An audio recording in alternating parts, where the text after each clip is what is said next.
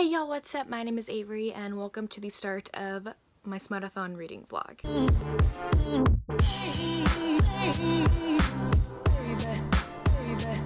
So it is later in the day, of the first day of the readathon, uh, where you get to read some smutty books. I stayed up very late. I am moving in two days. So I guess you get to watch that journey of me moving to a new city during this vlog. I'm moving and I realized that I haven't pre-filmed anything because I needed to pre-film because I won't have all of my books when I move because I cannot take all of my books into a new apartment where I'm living with three other girls. So my room is very tiny. So I cannot fit all 300 plus books in my room. Uh, so I could only take a few boxes. I realized that I have to film all of the books that I read in 2019. I have to film my favorite books of 2019. I also have to film my December wrap-up, my December ebook haul, and the Smutathon TBR. I literally filmed five of those from 7 o'clock at night till 1.30 in the morning. It was horrible. I felt so bad because I have like a chronic illness called POTS, if you didn't know, where like my blood pools to my lower extremities. So like my feet pools blood. I can't stand up for long periods of time. And I guess I was just like such in like the zone that I forgot.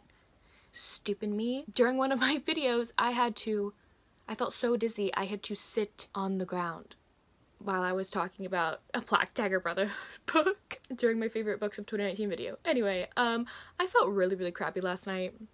Afterwards, I didn't go to bed till maybe like 3.30 in the morning because I also had to edit and upload the TBR video that came out today for the readathon. So I've been very sleepy. I've also having to pack all of my stuff. I'm not showing you my room behind me because it's a mess.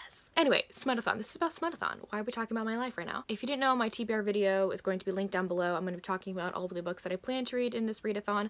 I don't really plan to... Oh, there's a hair. I don't really plan to stray from the TBR. I feel like it's going to be mostly fixed because I don't have the time to look up any more books because I'm going to be so busy. But I wanted to let you know that I already read and completed a book. Be proud of me. I read 30 Day Boyfriend by Whitney G. I listened to this through Audible Escape. This was only around close to three hours of an audiobook and I listened on two times speed. I got through it within an hour and a half. I just popped my headphones in when I woke up this morning and started listening to it while I was checking things on my phone. Uh, this fits the bill for it could fit the bill for a bunch of challenges. It could fit the bill for workplace romance, but I am personally going to put it in for the fake dating. You can figure out the summaries of these books in the TBR video. I did really enjoy this one. I gave it four stars. My big complaint is that it needed to be longer for me to give this book five stars.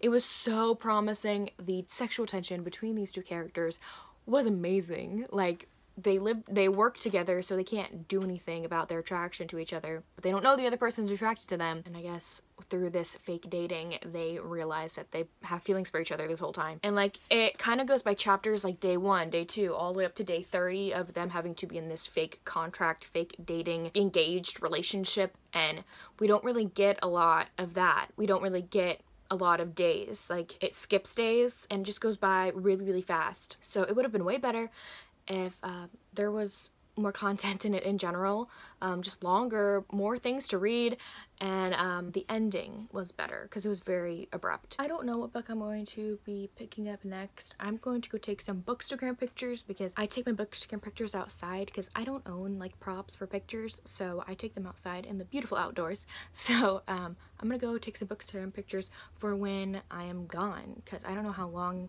until I come visit my home again. So I'm gonna take some pictures to have with me while I'm at school. And I don't know what it's gonna be like when I go to school, if there's gonna be any outdoor area for me to take pictures with books. So I'm gonna be taking a bunch of bookstagram pictures. So that's what I am tasked to do today. I wanna hang out with friends. Um, I wanna see the kids that I nanny today for the last time, maybe. Um, so I have a lot of things to do, so I'll chat with y'all later. Hi y'all, it is later in the day. It is really late at night. I haven't done any other reading, um, but I did get two books in the mail. So the first book that I have is Get a Life Chloe Brown by Talia Hibbert. I ordered this because it is our lovely ladies book club pick for the month of January. Our live show will be on February 1st 7 p.m. Central Standard Time on my channel. If you've read this book or if you want to read this book, please tune into our live show on that day and read this book with us. This is another book on my chronic illness rep TBR list I've been meaning to get to because our main character, Chloe Brown, has a chronic illness. And this is a romance book that I've heard wonderful, wonderful things about. So I can't wait to get into this. I've read a Talia Hibbert book previously and really enjoyed it. So hopefully I will love this one. And I can't wait to read this book with Ashley and Jen. And the other book that I got, I got it because one of my favorites of all time now. Full Tilt by Emma Scott. I got the paperback edition for my collection. I am taking this to school with me in a couple days. Another book from my chronic illness TBR, disease TBR, sickness TBR, because our main character, man in here, has a terminal heart condition. So this book was really good. If you want to know more about this book, go check out my um, Kindle Unlimited Weekend Readathon because that's in there. And I'm going to talk about this more in my December wrap up, which may already be out. I'm not sure. Anyways, I got both of those books in the mail today. And then I am going to go take a bath, which I haven't done in so long because our bathtub has been broken. Um, so I'm gonna go take a bath and read some of Learn My Lesson by Katee Roberts. I'm so excited for this book, y'all. I'm so excited. Hades and Meg romance. It's gonna be so good. I'm so excited. Hey y'all, what's up? I believe it is two days later. I am going to be moving out in about an hour or two.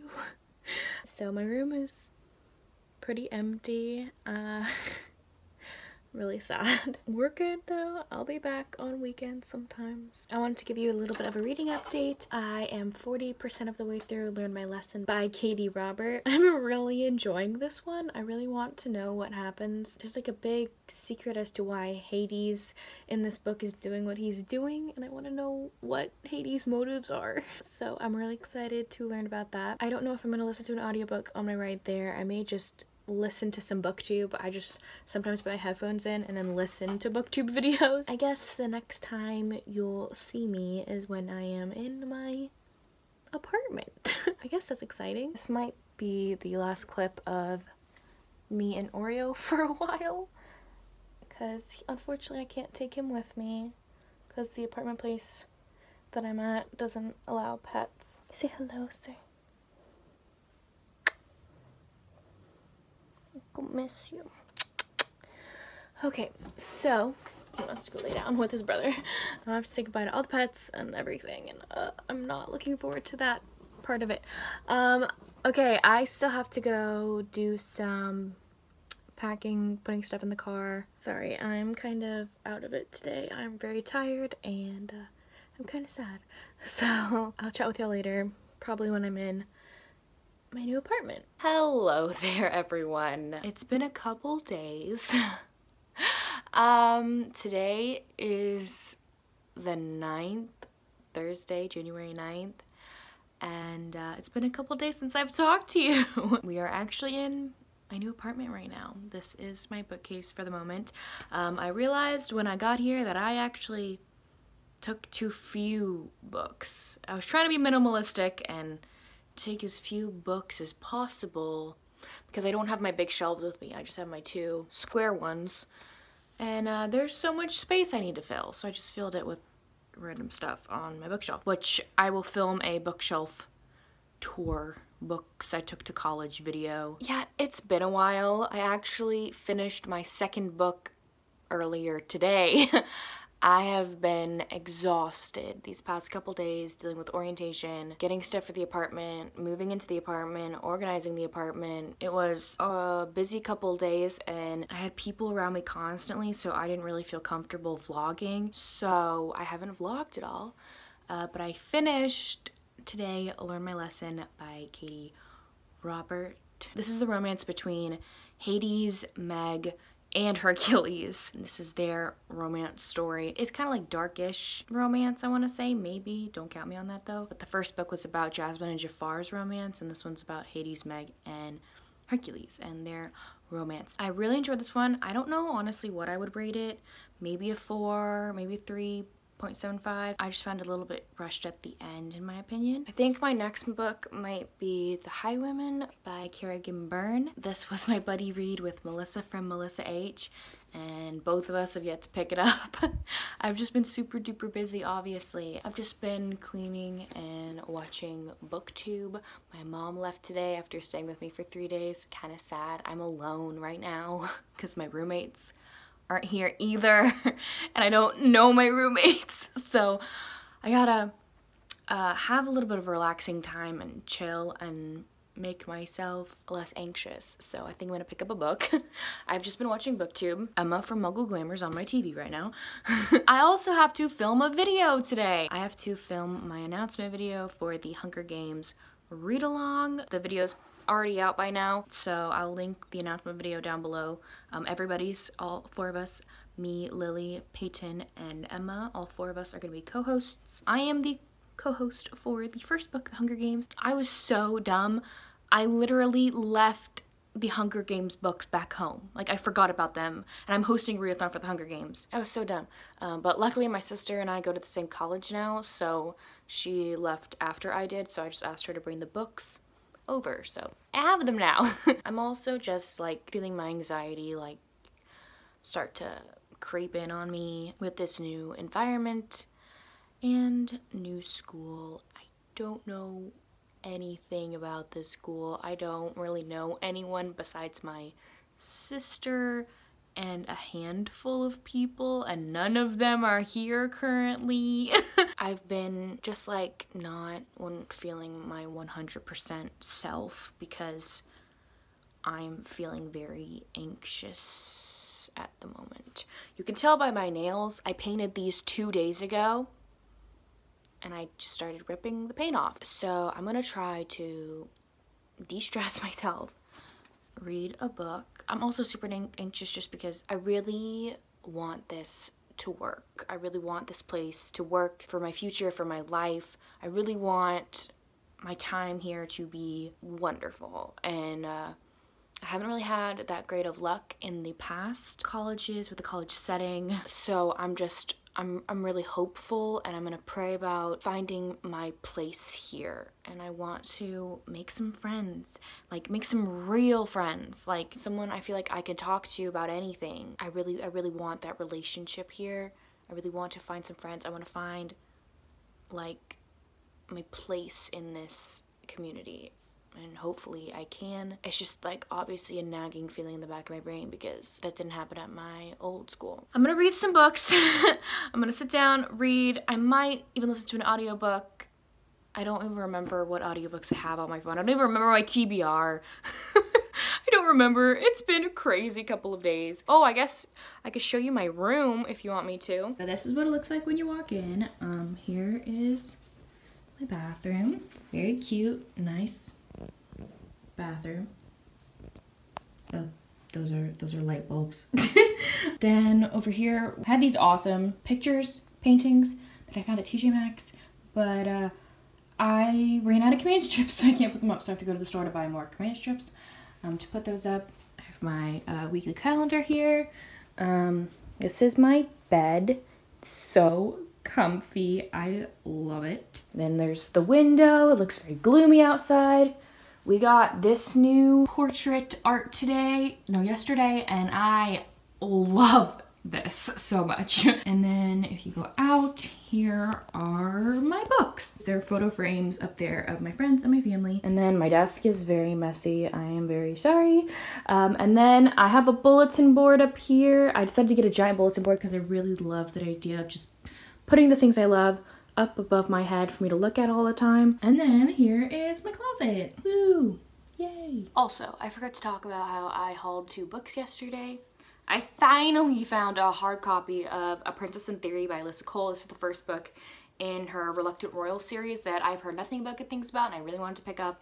It's a royalty romance series that I really want to read. So I found it in the Barnes & Noble in my college town and I bought that sucker. And then I also found Sick Kids in Love by Hannah Moskowitz. There you go, Hannah Moskowitz. I have heard that this deals with chronic illness, and this is a, a book that I should probably read for my video of me trying to recommend chronic illness books that have chronic illness representation in it because I have a chronic illness myself and I really want to uh, find books that uh, deal with chronic illness and represent it in the correct way. I don't really know all that much about it though. The cover is beautiful. I believe that uh, both of these kids have chronic illnesses. This is a young adult book, by the way. Um, I'm really looking forward to this one and hopefully I can recommend it to y'all after I read it. Okay, I gotta go put my shoes on because I'm actually gonna go grocery shopping, so I will chat with y'all later. Hey y'all, it is later in the day and I thought I would update you. I just filmed my Hunger Games read-along announcement video um, which is going to be up before this. Read the Hunger Games with us, y'all. I'm the host for February for the first book, so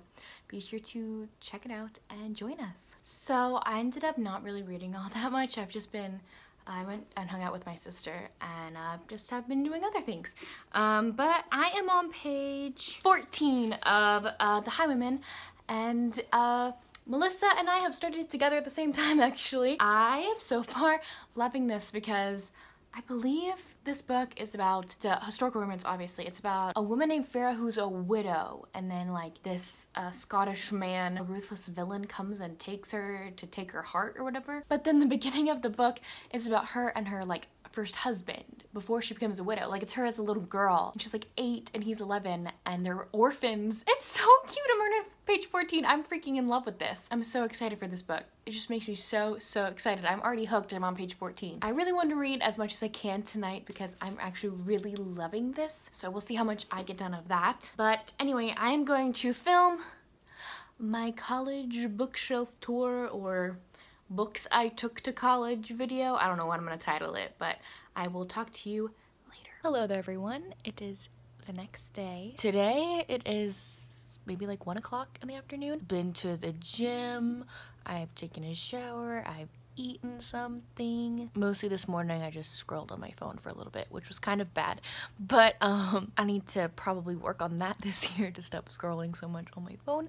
Um, and actually do something productive, like read a book. Last night I left off on just before chapter 4, which is page 45. I'm really enjoying those so far. I want to know what happens because I loved the first chapter way better than what's going on right now because those chapters were about her when she was a little girl. I have a theory of who her love interest is and I haven't like I had the theory before I even met him on page about who he was and I'm pretty sure he's who I think he is. And I think Melissa said she had like the same theory. She's way farther in the book than I am right now, uh, so I gotta catch up. I really want to read a lot of this today because I haven't had a good just sit down and read day because I really want to do that. So anyways, I'm gonna go do that. Hello there, I'm literally the worst vlogger ever. um, but it is the last day, the 11th and it is like 7 o'clock at night. I finished this earlier today, The Highwayman by Kerrigan Byrne. I really enjoyed my time reading this. Once it hit a certain spot, I was really hooked.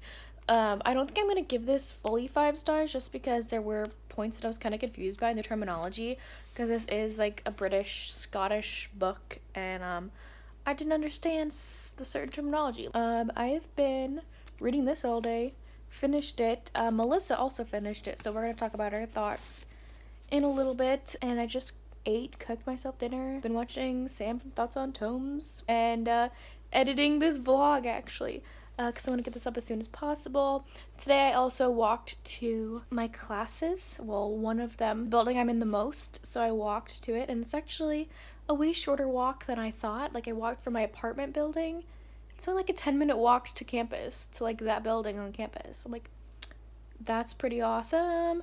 So uh, I'm very happy about that. I might pick up the end zone before the end of the night. We will see. Because that one does interest me and it's very short. I might do that while I'm editing some things.